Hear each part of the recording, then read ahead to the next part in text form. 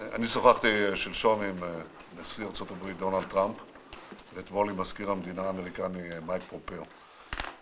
הממשל האמריקני אמר לי שזוהי כוונת הנשיא להוציא את כוחותיהם מסוריה, הם גם הבהירו שיש להם דרכים אחרות להביא לידי ביטוי את השפעתם בזירה. זוהי כמובן החלטה אמריקנית, אנחנו נלמד את ה... קודם כל את לוחות הזמנים שלה ואת צורת ההפעלה שלה וכמובן את ההשלכות לגבינו. בכל מקרה אנחנו נדאג לשמור על ביטחון ישראל ולהגן על עצמנו מהזירה הזאת.